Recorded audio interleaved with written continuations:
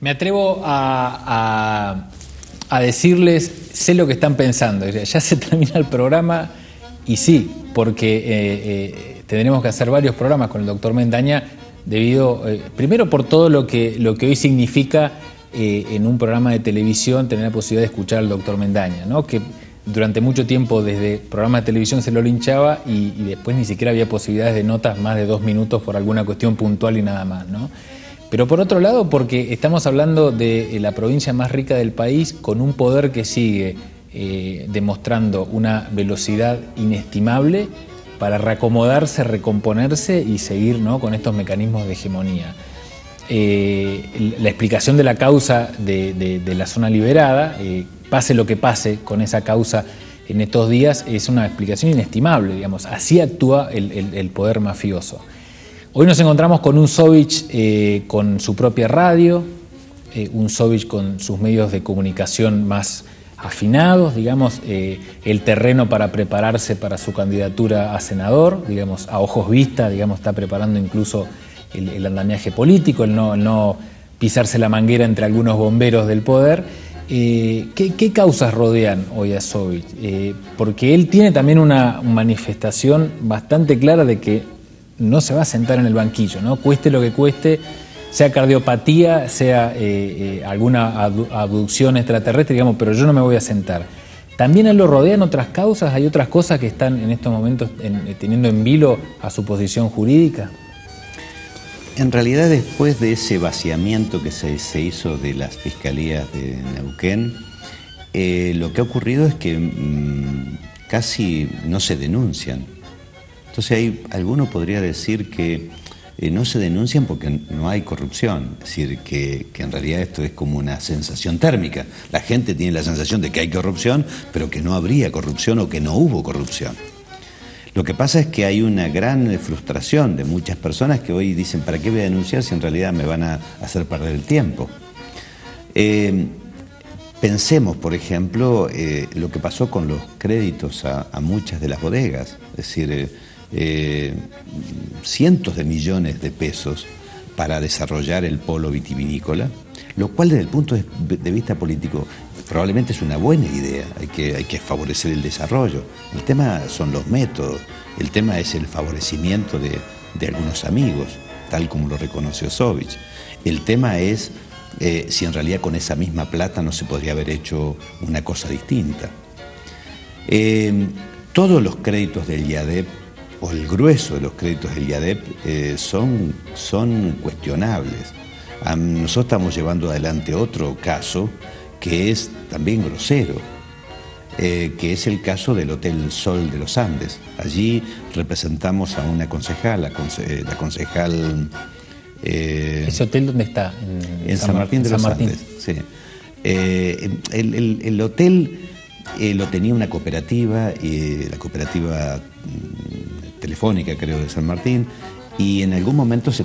Claro, era un hotel que había quedado viejo porque sus habitaciones eran chicas, eh, todo el, mundo, digamos, de la oferta hotelera había cambiado, había que hacer algo. Eh, entonces eh, era el reclamo también del municipio y el reclamo de la comunidad. entonces, a raíz de esto empieza a aparecer la idea de empezar a desarrollar en el hotel algo distinto, cambiarle algo desde el punto de vista arquitectónico y quizás hacer un centro de formación de alta hotelería o de servicios hoteleros. El gobierno toma entonces la, siguiente decisión. Por un lado hace un convenio con la Universidad Politécnica de Valencia, que hizo más de un convenio. Eh, creo que la gente del Chañar también vio a algunos técnicos de la Politécnica. Lo cierto es que la Politécnica entonces eh, en ese convenio se comprometen a desarrollar un centro de formación, digamos, en algunas tecnicaturas vinculadas con lo hotelero. Para esto eh, la provincia puso 5 millones de pesos en su momento, un millón por año. Y la Politécnica puso básicamente el nombre porque después eran recursos casi locales. Claro. ¿Era época del 1 a 1 todavía no? sí, sí, sí, era del 1 a 1. Y y el, desarrollador del que iba a hacer las refacciones y iba a poner en funciones el hotel era una empresa que se terminó llamando Geografías del Sur, que pertenece a un señor de apellido Pellegrini y que es de la zona norte del Gran Buenos Aires. Que no le conocemos antecedentes eh, vinculados con esta actividad. Lo que yo he podido obtener googleando es que también hizo una maniobra parecida con un viejo hotel en Mendoza. Eh, lo cierto es que este, este señor que, tiene una sociedad con un capital de 12 mil pesos, le dan un crédito del IADEP por algo más de 5 millones para refaccionar y poner en funcionamiento el hotel. Qué suerte, ¿no? Realmente muchísima suerte, pero, pero se nota que era suertudo en serio porque vamos a ver cómo termina la película.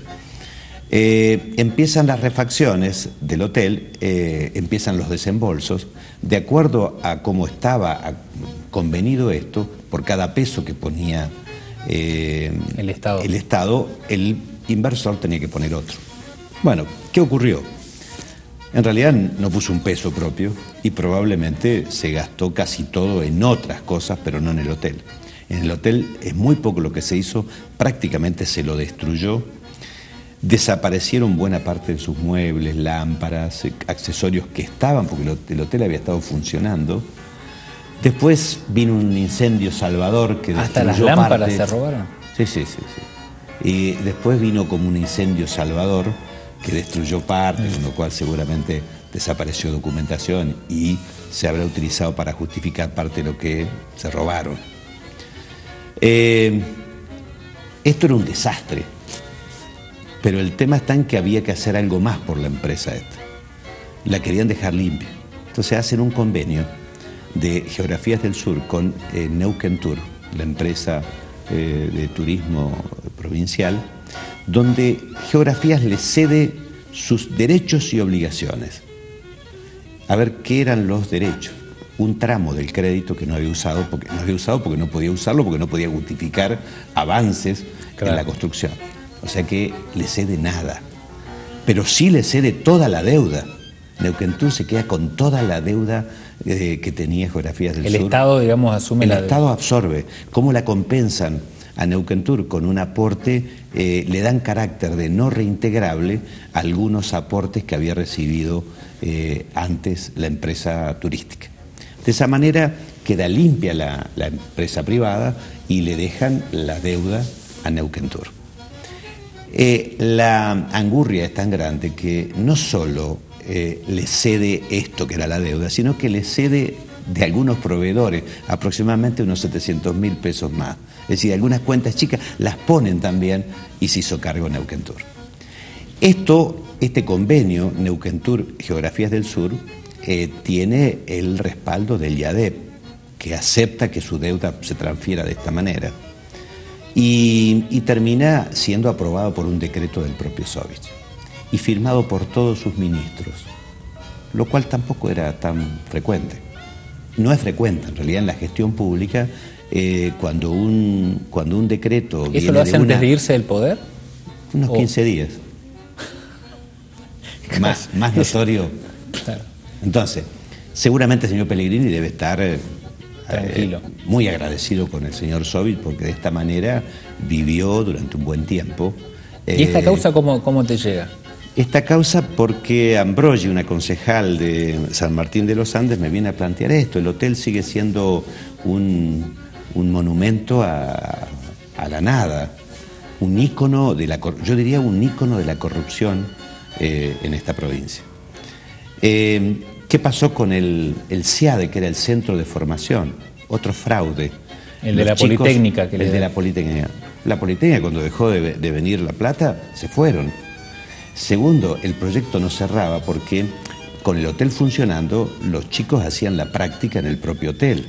Al, no funcionar el hotel, el, esquema no funcionaba. Entonces, eh, eh, terminó con una gran desazón de mucha gente que se puso a estudiar, con un gran fraude eh, para, las, eh, para las, finanzas públicas y con un gran beneficio para los que se llevaron el dinero.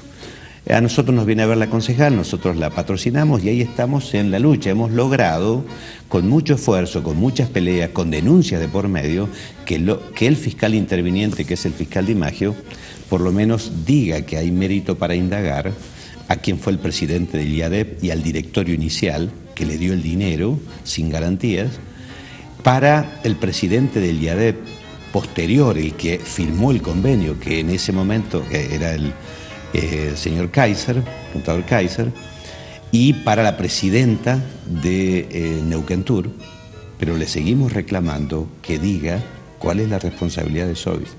Pero Sovit, para la Fiscalía de Neuquén, sigue siendo intocable. Eh, una duda, ¿Kaiser es el actual titular del IPBU? O helado, no sé cuál es la función actual. Sí, digamos, no se quedó sin trabajo, no, no. No, no, no, no, no, no. No, no, y bueno, y otro de los que eh, habría mérito para indagarlo es Fernández de Dotzel, el exministro, pero todavía no hemos materializado las indagatorias porque eh, el juez que intervenía era el doctor Gago, falleció, eh, hemos entrado ahí en un cono de que se excusan, que se aparcan, y, el, tiempo va, el tiempo ayuda, ayuda a la amnesia. y una sociedad que no tiene memoria, en realidad repite los errores del pasado. Por eso es tan preocupante. Eh, me da la, sensación de que mm, no solamente tenemos mucho más para preguntar, pues se disparan un montón de estructuras, eh, eh, las cuales uno quiere reaprender, ¿verdad?, para, tener estos elementos. Pero creo que es preocupante que estos personajes que viven de la función pública o la usufructan y se presentan como administradores, este, sigan en, esta función. Entonces creo que la tarea del doctor Mendaña en ese aspecto eh, cobra otra dimensión, ¿no? Por esto que yo les decía, esta persona en la que estamos hablando quiere incluso ahora ser senador. Se, promueve a través de sus propios mecanismos, ya no le alcanzaba con los medios amigos, que tiene sus propios programas de televisión, sus propios periodistas. Eh, pero está la verdad, que eso es lo incontrastable, ¿no? Decían que entre la mirada de un hombre y el techo a la noche, no hay nada más que la verdad. Nosotros creemos que por lo menos esta parte de la verdad siempre está ninguneada en los medios más corporativos en esta parte del mundo. O sea, esa es una misión pequeña y humilde que tiene este, esta, esta islita llamada Cartago. Doctor, muchas gracias por venir. No, gracias a ustedes y, un mensaje positivo también. La gente tiene que comprometerse con los temas de la justicia, si no, nos va a seguir pasando esto. Comprometerse significa tener una mirada de control, exigir rendición de cuenta a los funcionarios, porque si no es todo es de esa zona y dice, uh, esto no se puede cambiar nada. Y lamentablemente esa estrategia es funcional a la corrupción. Por eso hay que sobreponerse, hay que sacar fuerza donde uno no tiene y, eh, y seguir luchando por la verdad y por la justicia. Y con ese optimismo, hasta la semana que viene por este canal con más Cartago.